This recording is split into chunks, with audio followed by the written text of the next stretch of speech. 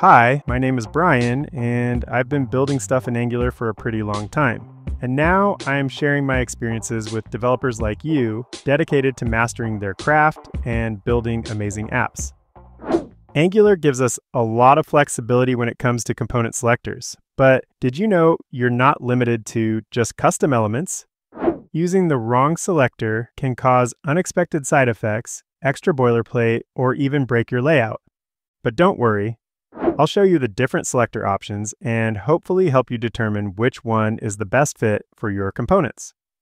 We'll cover element selectors, attribute and class selectors, a not pseudo class trick, and even how to combine them for maximum control. Let's dive in. By default, when you generate a new Angular component, the selector will be a custom element. In our app here, we can see this exact thing we have a simple icon button component.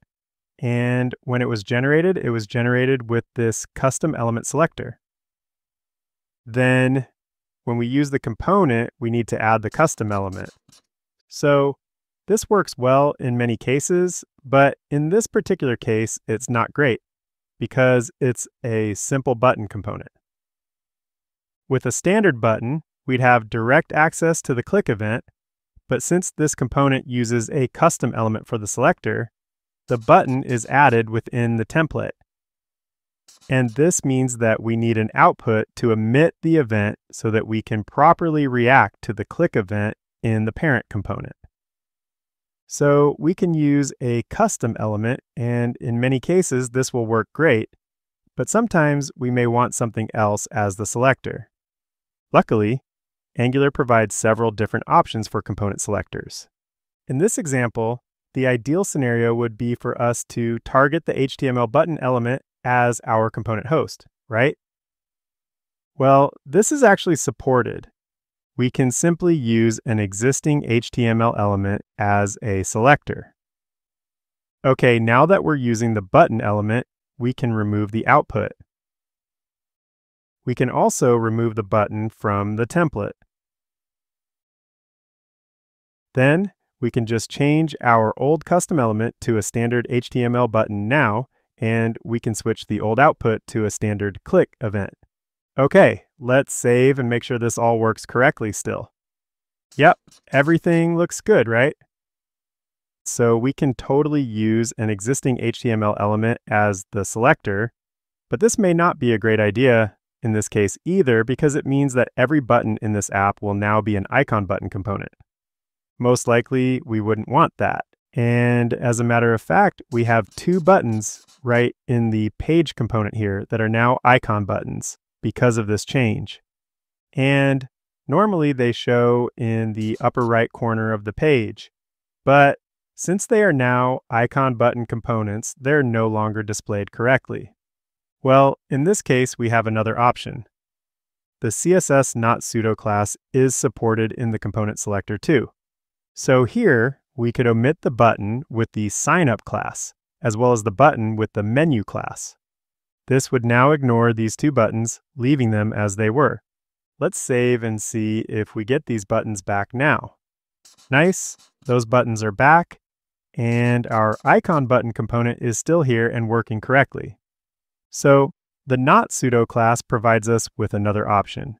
But again, in this case, this probably isn't exactly what we'd want because as the app grows, this list of buttons to ignore would continue to grow too. Well, we have yet another option. Angular also supports attributes as a selector. So we could change the selector to a custom attribute instead. And we use square brackets for this too, just as if we were using it as a CSS selector in a style sheet. Now we just need to add this attribute to our button. Okay, now let's save and see if this still works. Yep, looks good, right? So this is a great option for this scenario. Most likely, this is what I would choose for this sort of thing. But we do still have a few more options. Angular supports using a class as a selector. So we can switch this to a standard CSS class selector. Then we'd need to add this class to our button element too. And since we're now using the class as our selector, we can remove the old custom attribute. Okay, let's save and make sure this works. Nice, so we can use a class as a selector too. Okay, so we've seen several different options for component selectors, and there's still one more. Angular supports combining these selectors too. Let's say we want to target an HTML button element, but only when it has this custom class on it. Well, we can add this combination as a selector too. And we don't need to change anything else since it was already a button with this class in our template. Let's save and make sure this still works correctly. Yep, there it is. So we can even use more complex combinations of selectors if needed. Okay, if all of this wasn't enough, we have more options when it comes to component selectors. We can provide multiple selectors.